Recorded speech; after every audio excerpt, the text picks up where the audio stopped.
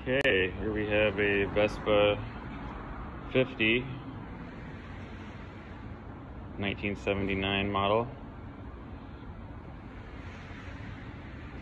We're gonna start it up. It's a pretty warm day. I don't think we need any choke. We're just gonna turn this on. And there's only been a little bit of fuel in the tank, so I'm gonna go to reserve there.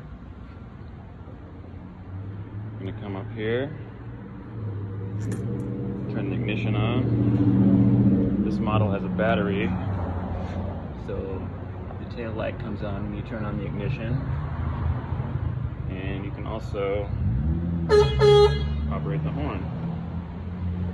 The headlights will not come on until you actually start the bike, which we're going to do now.